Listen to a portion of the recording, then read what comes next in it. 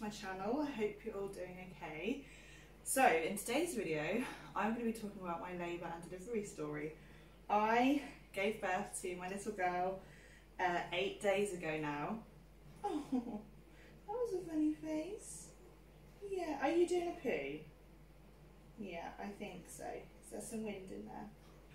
I can't believe how fast the time's gone and how she's eight days old already. I will never know. But yeah, so this is Novaly Rose.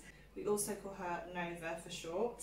Thought I would just share with you my labour and delivery story. The plan was to film parts of my labour and delivery and I started off filming parts of my labour and delivery but it all kind of went from 0 to 100 very quickly and I ended up not getting much footage at all.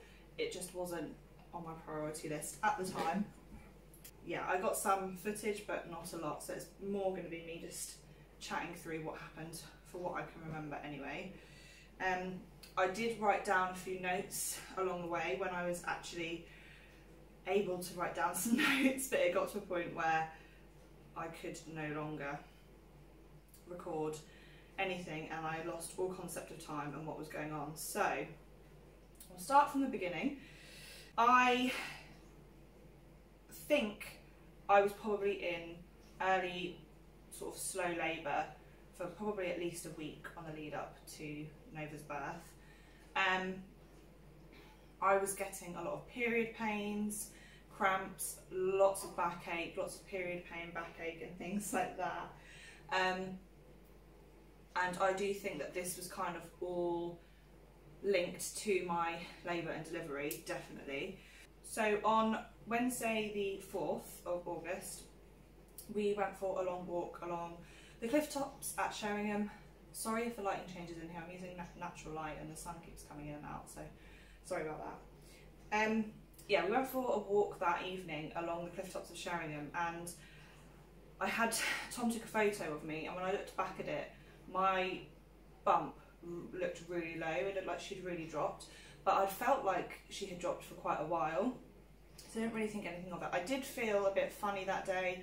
I felt quite tired, I felt very irritable and emotional, and I also was getting really bad cramps in my back and backache, bit of a dull period pain, tummy ache in my tummy, and but I didn't think anything of it because I've been having this for uh, probably two weeks before that, on and off. So yeah, I mean, me and Tom did say maybe tonight's going to be the night, joking, like yeah, like it obviously won't be. But that long walk and the fish and chips obviously did something because that's when it all kind of kicked off. So I also had a few tightenings on that walk, um, but I would have said they were more Braxton Hicks than contractions. And again, I've been getting kind of lots of Braxton Hicks on the lead up to this point anyway. I think we've got a windy baby here. Went to bed as normal, Tom was outside playing PlayStation. I woke up at 12am on the 5th, so I woke up at midnight. And at that point I did have quite, not severe, but the period cramps had in, intensified. And I went to the toilet and I had a slight brown discharge. I, at this point I thought this isn't my mucus plug. It's not enough to be a show, but I thought, hmm, this is a little bit different to what I've been experiencing before and I went back to bed and I just couldn't get back to sleep. I had really bad lower back pain and it was that was the thing that was stopping me from sleeping. I think it was around about 1.30, 2 in the morning when I thought, okay, these could probably be contractions. Um, I had to keep going to the toilet, which again is another sign that things might be progressing and things might be happening, but it doesn't, I didn't think, oh, this is going to be it or this is going to be quick. I just thought maybe it was again my body getting ready for labour but not actually going into labour but I was wrong. And at that point I then decided to have a shower because my back was really really sore. I didn't feel much through my tummy, it was all through my back having these like cramp tightening type things. It's really hard to explain but I basically had all of my contractions and pain through my back. It was basically back labour rather than your typical through your tummy.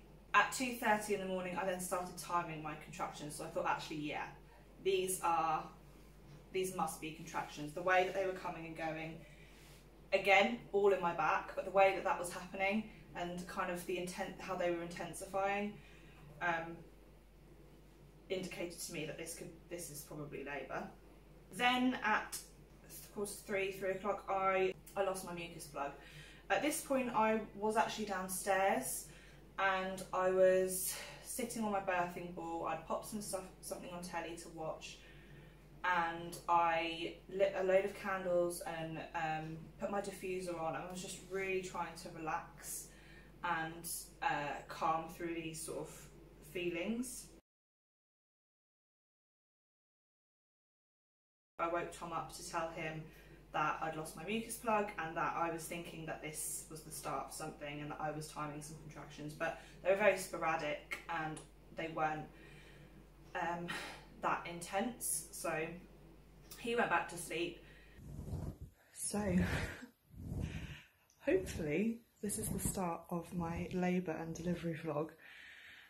Um, something is definitely happening. Um, I'm now starting to time whatever it is here that's going on. Um, I'm pretty sure they are contractions. They're mostly through my back, but something's definitely happening happening um, because I literally have just had my show as well, my mucus plug. So yeah, I've definitely something's definitely happening. I think I've got one coming now.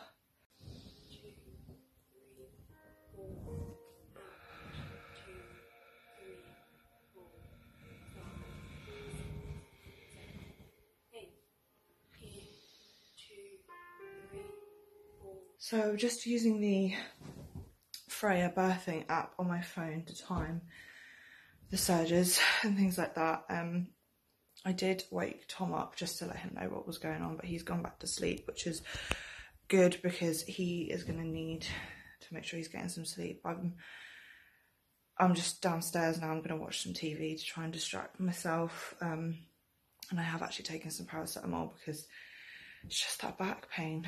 Um, but yeah, I've just got to wait and see now. See how it goes. um, hopefully, I'll be able to manage for a while at home, but we'll see.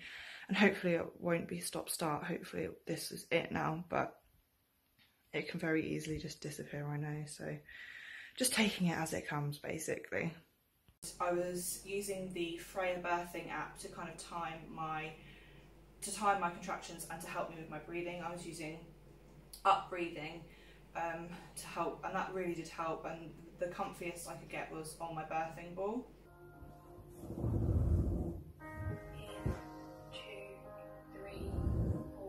Oh.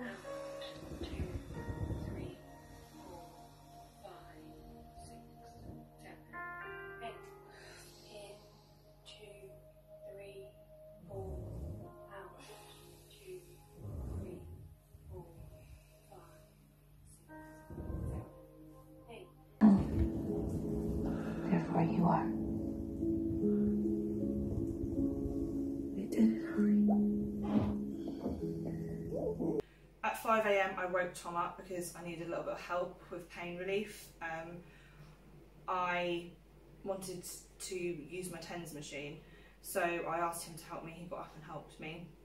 Put that on and I sat with my TENS machine on for a little while which did help ease the pain a bit. Just press, press it once, shall I? Just, what are you pressing the on button? Well, the first. Yeah, so turn it on, right? Yeah, it's, it's already on. And then you I got the- feel it. Oh, you can?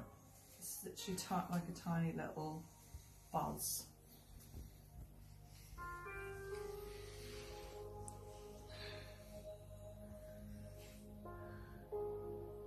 It's like a ting- tingling. I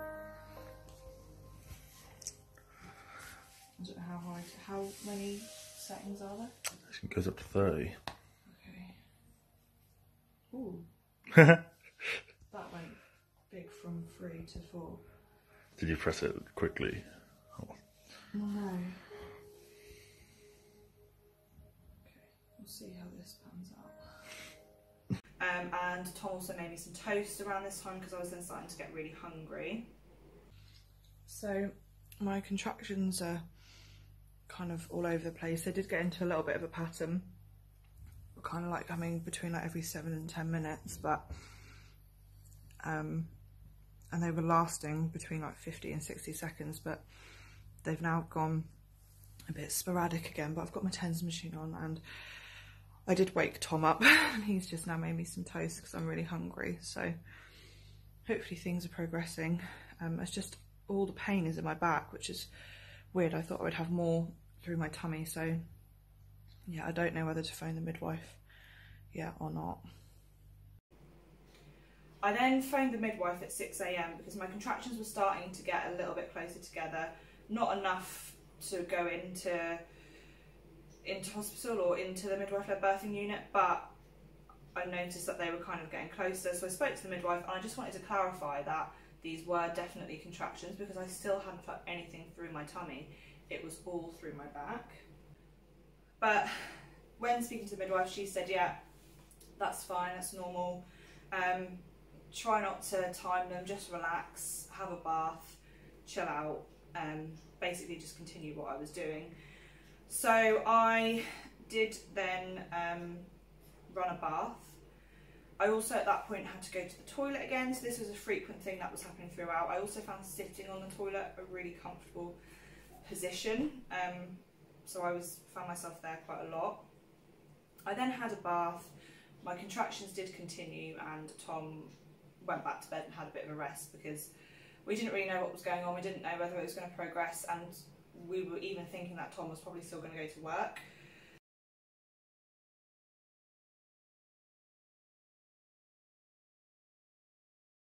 I got out of the bath at around seven. I then had to go to the toilet again. And at this point was when I really did lose the rest of my mucus plug. I thought I'd lost it earlier on, but I hadn't. Not all of it anyway. The rest of it then came out this time and I was like, okay, yeah, this is happening. So then I sort of told Tom, um, and I just continued to rest and uh, do all the things that make me happy. Like I said, with the like lighting candles, relaxing, listening to like positive affirmations and breathing and things like that, all from the birth, Positive Birth Company.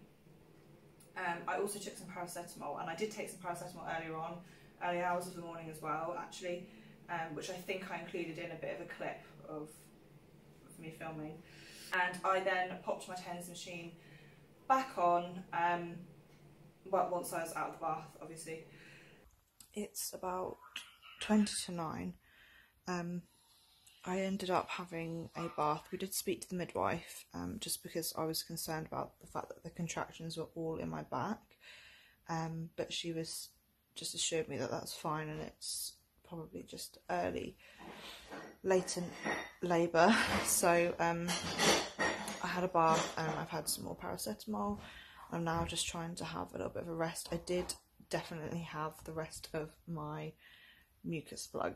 Um, I lost the rest of that because I thought I had earlier on, which I obviously had a bit, but definitely the rest of it has now come out.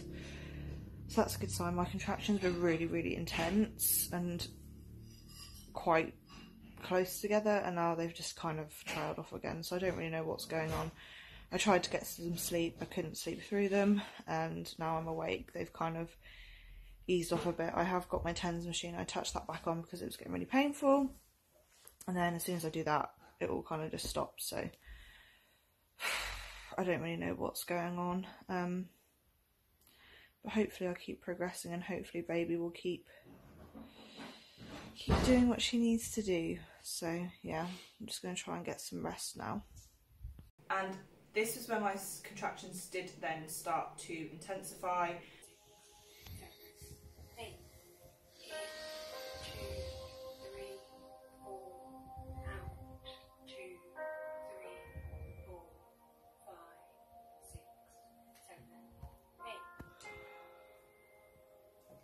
You okay?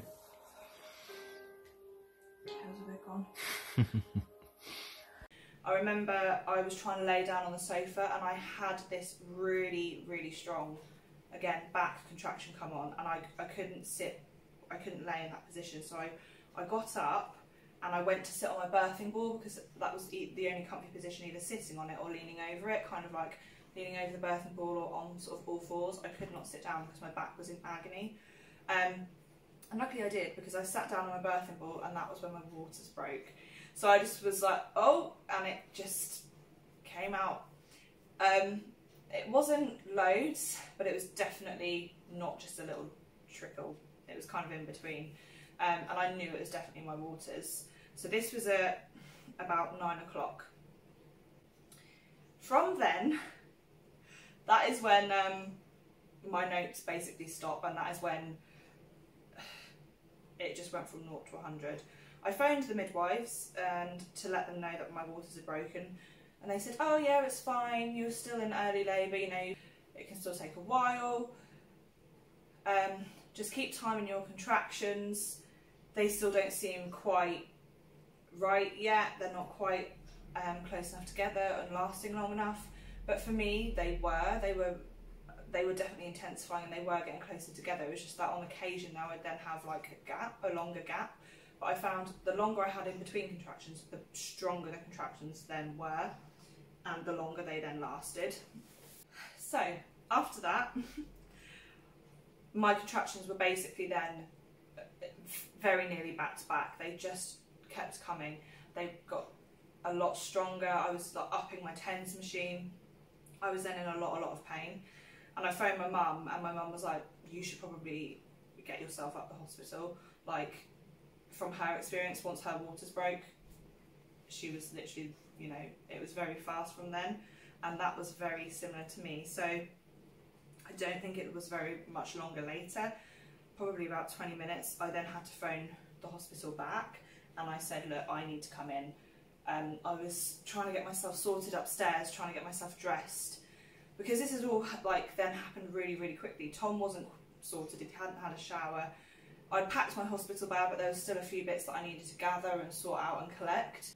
I hadn't got dressed and we needed to put all this stuff in the car um, but i was then in so much pain i could not even walk down the stairs um, and this is when it all kind of becomes very blurry and i don't know what was going on. My mum then turned up to get the dog um, we were trying, Tom was running around sorting stuff out. I was just trying to breathe through my contractions using my TENS machine, trying to get myself a little bit sorted, ready to go. Tom shoved everything in the car. Um, and then I was trying to come down the stairs and I was just in, I was in so much pain. And I was trying to get in the car. We ended up having to phone the midwife again to say, look, she's really struggling, I'm really struggling to, oh, I'm really struggling to get in the car. So I ended up having to kind of like lay on my side. They even talked about sending out a paramedic. It was just all very intense. Tom rushed us to the hospital. I was laying like on my side with a cushion behind my back and that was the probably the worst part of the whole thing was that car journey. I was in so much pain and I then started to feel sick. Um, I wasn't sick, but I felt it we whizzed to the hospital or to the midwife-led birthing unit and um, I arrived and they had to come and get me in a wheelchair. I couldn't even walk. I mean, at this point I just thought that surely this has got to be happening soon um, and I was, all I wanted was some more pain relief. I was kind of worried that I was going to turn up there and be like, yeah, you're like two centimetres, you're being really over dramatic.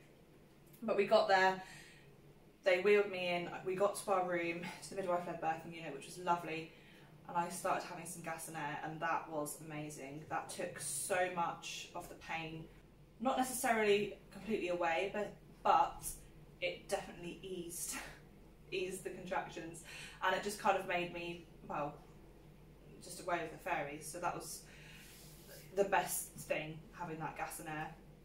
Um, we were then kind of getting sorted or whatever, and they said, "Oh, do you want to get in the birthing pool?" Which I did. They were kind of running that, whatever. And then the midwife said, "I remember her saying to me, you sound like you want to want to push. Do you feel like you have that push sensation?" I said, "Yeah, I think I do have. I, I do feel a bit like that." Um, so she was like, "Okay," because at this point they hadn't examined me.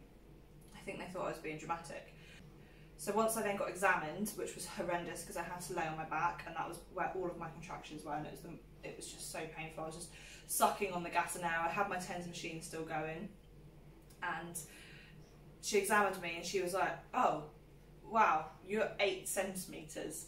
And I was like, okay, so it's kind of a bit of a relief because I thought, thank goodness, because this means I'm I'm not being over dramatic. Like this is painful. I've got to eight centimeters at home with, all I had was a TENS machine and paracetamol, and then obviously I just started on the gas and air once I'd got there. So I arrived there and I was already at eight centimeters, which was just insane.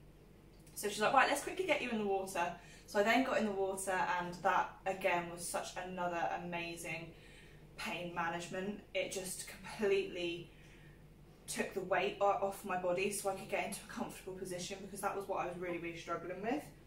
So I managed to kind of like be on my be on all fours and take the weight away, which was just amazing. So I spent some time in the water with the gas and air, contractions continuing. I was using my up breathing.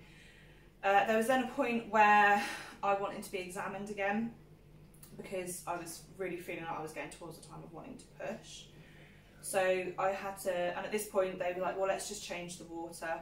Um, we'll refill it why don't you go and have a sit down on the toilet for a little while because I then had the urge again. I was having those urges to go to the toilet, which did happen throughout. Um, so I went and sat on the toilet. I know this is TMI, but it's, it's birth. Um, and I examined me, and I think around that point I was there, and she said, Yeah, you're, you're pretty much 10 centimetres. There's just a tiny bit of cervix that's in the way. But she could kind of move it with her hand, and she said, When I then did a big push and she said she could see the head starting to come down. So I was like, okay. So uh, that's when we then refilled the pool um, and I then got back into the birthing pool and that was where I then did my pushing. I had got to that stage of 10 centimetres, I got to that transitions, that's transition phase of I can't do this. Um, and at this point, I was like, I just need something else. I want some more pain relief. Um, actually, I started asking for more pain relief once I got out of the pool. Um, I wanted something more, and she said, Well, by the time you have it, it's not going to be worth it. Your baby will be here. Um, and if I give you pethidine now, you won't be able to get back in the pool because we'll have to make sure that you haven't reacted to it and it can make you sleepy. And by the time you would be allowed in the pool, your baby will be here. So, um, and Tom was amazing. He just kept saying to me, You can do this, you know, she'll be here soon. Just stay in the water. You don't need that. You don't need pethidine. There's no point. Just keep going. So, didn't have any. I pushed through and I got back in the water and I birthed little Novalee at eight minutes past one in the afternoon and she weighed seven pound eight. Um, I can get emotional when I think about it. It was just amazing. I, I birthed in the pool. I was sort of leaning over on all fours. Tom was that end and he watched it all. He could see her head. He said her head came out and then her arm came straight out because she loves having her arms up by her face. Um, and yeah, there was a point where I remember shouting, or kind of in my breath ring of fire because I felt that happening. It was such a, a, weird experience because even though I had really no idea what was going on because I was sucking on the gas and air so much, I knew what my body was doing and I was the one that was saying to the midwife, right here, you know, she's coming down, here's the head. Like, I could just feel, I could just feel in my body what was happening. I was just so in tune with what was going on. And I was then, when I was needing to push, I kept saying to the midwife, Am I allowed to push? Can I push? Can I push? And she kept saying, Yes, yes, yes. But I just don't think I was listening. But because that was what my body was telling me to do, I just wanted to make sure that that was right. Um, and I used the down breathing through Positive Birth Company that I'd learned through them.